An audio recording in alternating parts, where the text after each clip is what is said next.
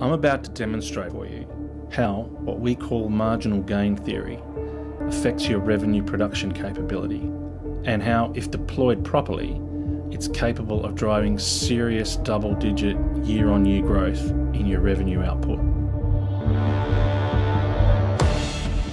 But before I do that, I'd just like to share with you some really interesting real world examples of people who've been spectacularly successful in their chosen fields by using exactly this formula.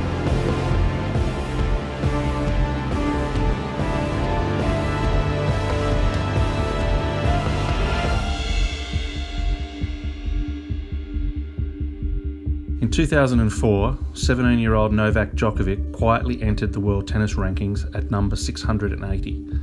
During that year, by winning 49% of his ATP tournament matches, he managed to scrape together a modest 300,000 in prize money. Roll forward to 2006, and Novak, now 19, has won 79% of his matches, earned $5 million in prize money, and sits at number 3 in the world men's rankings.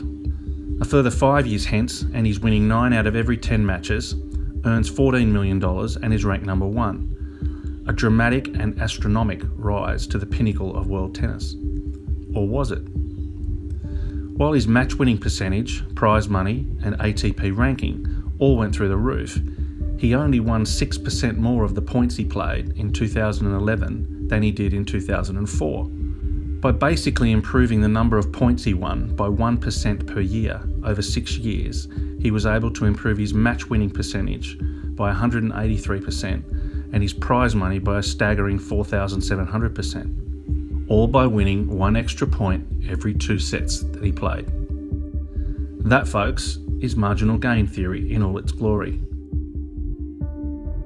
Now, many thousands of hours of analysis and practice went into exactly where and how to make those 1% improvements. But Novak Djokovic is a towering example of the power of marginal gains.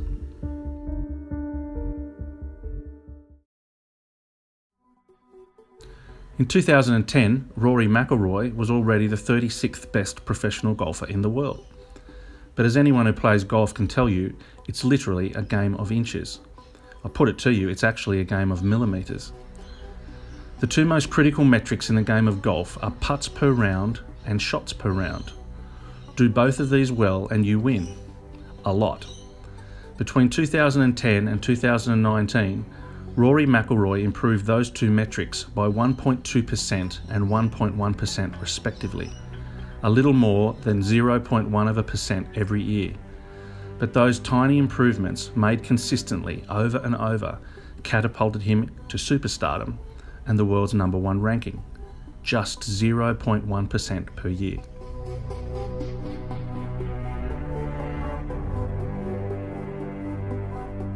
Nearly everyone already knows the story of David Brailsford.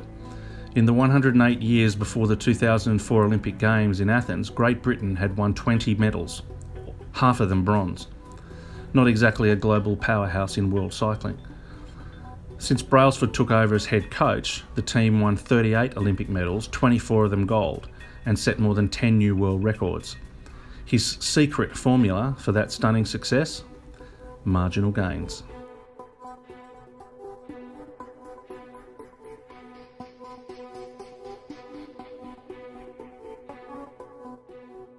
Michael Lewis's best-selling book Moneyball, later made into the movie of the same name starring Brad Pitt, documented the transformation of the serially underperforming Major League Baseball franchise, the Oakland Athletics, applying a combination of an analytics model called sabermetrics and marginal gain theory. The A's still hold the Major League record for most consecutive wins in a season, and the model originally employed by Billy Beane, the Oakland general manager, transformed the sport and industry of baseball.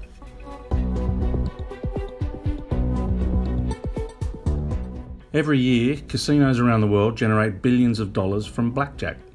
It's common knowledge that every game in every casino is stacked against the players and in favour of the house. Just how stacked is called the house edge. For as long as there have been casinos, blackjack has been their meat and potatoes. Day in and day out, hoovering up cash like giant black holes in space. Between 57% and 65% of casino revenues come from blackjack. And yet, blackjack has the smallest house edge of all the games played, averaging out at roughly 1%. What that means practically is that out of every 100 blackjack hands, the player will win between 48 and 49, and the casino between 51 and 52. That's how narrow the gap between poverty and phenomenal wealth is 1%. That's why, incidentally, casinos simply can't abide card counters.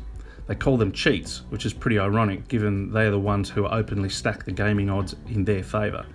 And as soon as they even suspect a card counter, that person is out the door forever. All for a 1% advantage. Which brings us to RPMG and our marginal gain theory for revenue. The house edge of the global sales game at the moment is 98%. For every sales opportunity that arises, sellers lose or fail to sell 98% of the time.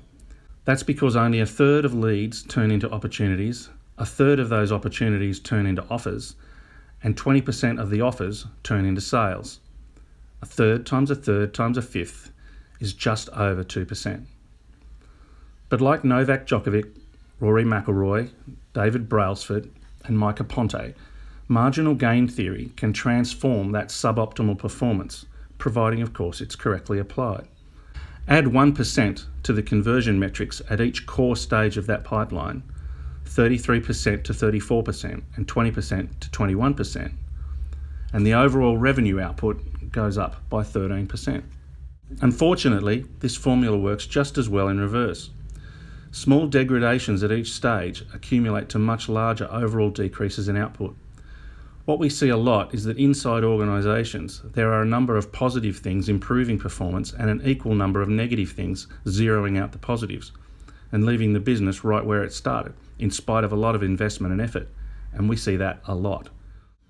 Hence the importance of understanding all the drivers of revenue and how they relate to each other there's no point in spending a truckload of money to improve three to four things if terrible performance elsewhere is going to negate those improvements. You're actually better off doing nothing at all. At least you won't waste your money. This RPMG heat map illustrates the 36 core revenue drivers, and we use it to help our clients understand what to stop doing, what to keep doing, and where to focus their improvement efforts. Novak Djokovic didn't go out and hit every shot harder he hit the right shots harder. But most of his effort and practice went into knowing when to hit the right shots harder and how to manage his points to get into position to hit the right shots and hit them harder. In our revenue context, the heat map is the equivalent of that analysis. How has this worked in the real world? Well, since 2005, 156 organisations, including those whose logos appear here, have employed RPMG's marginal gain theory and telemetry revenue analytics system. Their average year on year revenue growth in the three years immediately after deployment was 24%. Sounds big. Sounds too big. Well, not until you realise that that's really only 2% at each pipeline stage rather than 1%. That's the power of marginal gain. To learn more about marginal gain theory, telemetry, and how it might work for you, join us at www.rpmgi.com or email us at info at rpmgi.com.